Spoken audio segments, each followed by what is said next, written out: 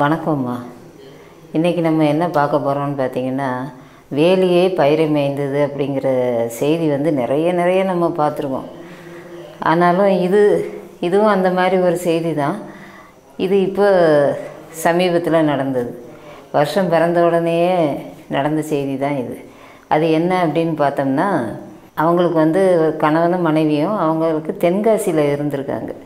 தென்காசியில் சரியாக வாழ்வாதாரம் இல்லைன்னு சொல்லி என்ன செஞ்சுருக்காங்கன்னா திருப்பூர் பனியன் கம்பெனியில் வேலை செய்யலாம்ல அங்கே நிறைய பனியன் கம்பெனி இருக்குதுன்ட்டு திருப்பூருக்கு போயிருக்காங்க. திருப்பூருக்கு பக்கத்தில் ஒரு ஊரில் பனியன் கம்பெனியில் அந்த பெண் வேலை செஞ்சுருக்காங்க. அவர் வந்து ஒரு கம்பெனியில் வேலை செஞ்சுருக்காரு. ஆக ரெண்டு பேரும் ஒரே இடத்துல வேலை செய்யலை தனித்தனியாக வேலை செஞ்சுருக்காங்க. அப்படி வேலை செய்யும்போது அந்த பனியன் கம்பெனியிலே வேலை செஞ்ச இன்னொரு வாலிபரோட அந்த பெண்ணுக்கு பழக்கம் ஏற்பட்டிருக்கு. பழக்கம் ஏற்பட்டு ஒரு நாள் திடீர்னு வேலைக்கு போன பெண்ணு வீட்டுக்கு திரும்பலை. அப்போ கணவர் வந்து என்ன செஞ்சுருக்காரு? ரெண்டு மூணு தரம் வந்து ரெண்டு மூணு நாள் தேடி பார்த்துருக்காரு வந்துடுவாங்கன்ட்டு வரல. அப்புறம் அவர் பக்கத்தில் இருந்த காவல் நிலையத்தில் போய் கம்ப்ளைண்ட் பண்ணியிருக்காரு. அவங்க என்ன செஞ்சுருக்காங்க? ஃபோன் நம்பர் அந்த பெண்ணோட ஃபோன் நம்பரெல்லாம் வாங்கி பதிஞ்சிக்கிட்டாங்க. சரி நாங்கள் தேடி கண்டுபிடிச்சி தரோம் அப்படின்னு சொல்லி அவரை அனுப்பி வச்சுட்டாங்க.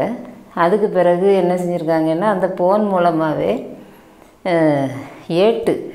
அந்த காவல் நிலையத்தில் வேலை செய்கிற ஏட்டு.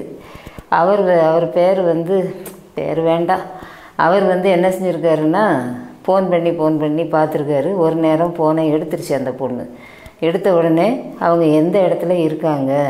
அப்படிங்கிறத கண்டுபிடிச்சி இவர் அந்த இடத்துக்கே போயிட்டார். கொஞ்சம் பக்கத்தில் தான். அதனால் அந்த இடத்துக்கே போய் அந்த பெண்ணை என்ன செஞ்சிட்டாரு? கணவன்கிட்ட சேர்த்து வைக்கணுன்ட்டு கூட்டிகிட்டு வந்துட்டார். கூட்டிகிட்டு வந்தவர். காவல் நிலையத்துக்கும் கூட்டிகிட்டு போகல. கணவர்கிட்டையும் கொண்டு போய் ஒப்படைக்காமல் இவர் தனி ஒரு இடத்துக்கு கூட்டிகிட்டு போய் அந்த பெண்ணை பாலியல் வன்கொடுமை பண்ணியிருக்கார். இது எந்த விதத்தில் நியாயம்னு நமக்கு தெரியல.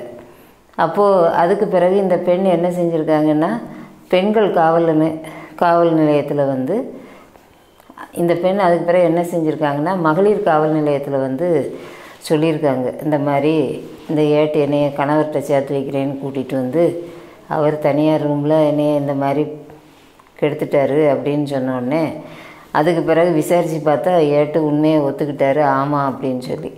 இப்போ அவரை வந்து பணி இடை நீக்கம் செஞ்சுருக்காங்க.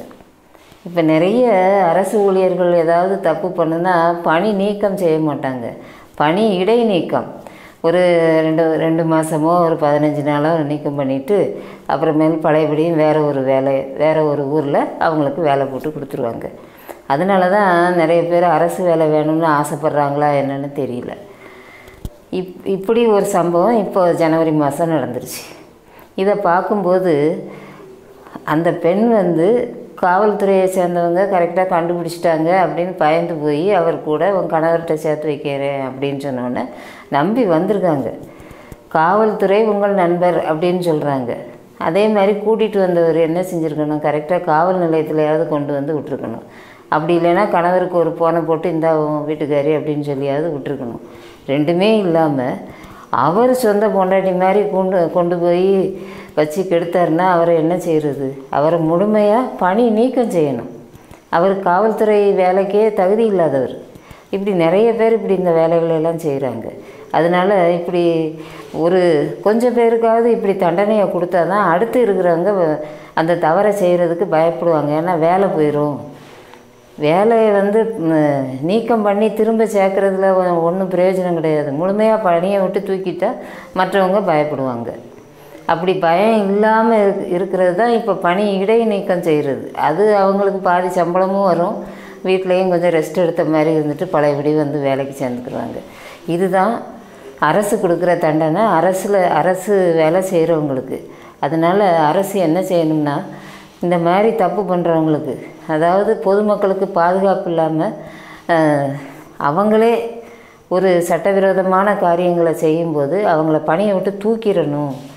இடைநீக்கம் பண்ணக்கூடாது. அதே மாதிரி பெண்களும் கணவனை முழுமையாக நம்பி கணவனோட வாழணுமே தவிர இப்படி யாரோ ஒருத்தனோட ஒரு ரெண்டு மாதம் மூணு மாதம் பழகணுன்னா ஓடி போயிடக்கூடாது. அப்படிங்கிறதுக்காக தான் இந்த செய்தியை நான் சொன்னேன். நான் சொன்னது உங்களுக்கு பிடிச்சிருந்ததுன்னா லைக் பண்ணுங்கள் ஷேர் பண்ணுங்கள் சப்ஸ்கிரைப் பண்ணுங்கள் ஓகே